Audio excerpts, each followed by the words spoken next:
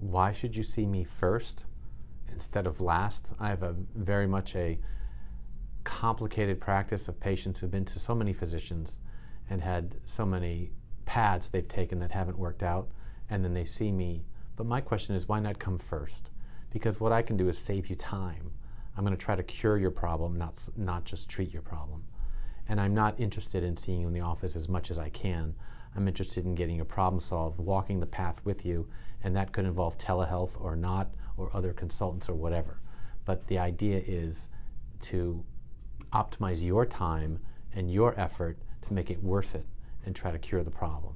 So that's a, a completely different, almost holistic philosophy in medicine that doesn't really exist in Western medicine in our field right now. But that's what we aim to do here at the Turek Clinic.